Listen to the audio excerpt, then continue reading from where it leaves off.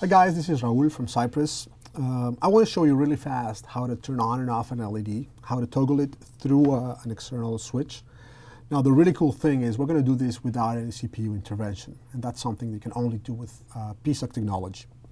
In order to do that, we're going to use the Pioneer board with the 4200 part on it and Creator. As always, what you want to do is start a new project and name it. Make sure that you have uh, the right part selected. In this case, we're going to start a new pro project with the 4200, give it a name, and make sure that we select the right part number. In this case, it's a 4245. You can get that information out of the board on the silk screen or on the schematic of the board. Just make sure you have it and uh, get started.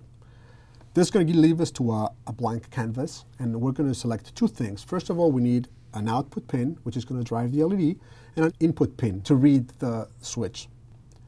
This is going to give us an option on the ports and pins, drag and drop. This is going to be our output pin. And then we're going to do the digital input, which is going to be reading the value from the switch. Okay, so now we have the two pins laid out in the schematic. Let's go first and modify the LED. Let's give it a name, in this case LED, and let's use the color green.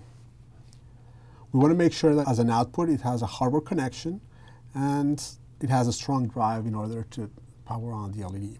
Once we have that set up, we can go OK and move into the input portion of it. The input is going to be, just name it switch. We want that to be a, a digital input with hardware and let's just select the resistive pull-up mode. Okay, so what we have now is we are working on the, on the characteristics of each of the pins that are going to be driving this. And just by dragging and putting the connections together, we now have an actual hardware connection between the switch and the LED. Now this goes through the PSOC without any CPU intervention, which is something really cool. Finally, what we need to do is make sure that it's mapped into the right pins so we can see that off the silk screen.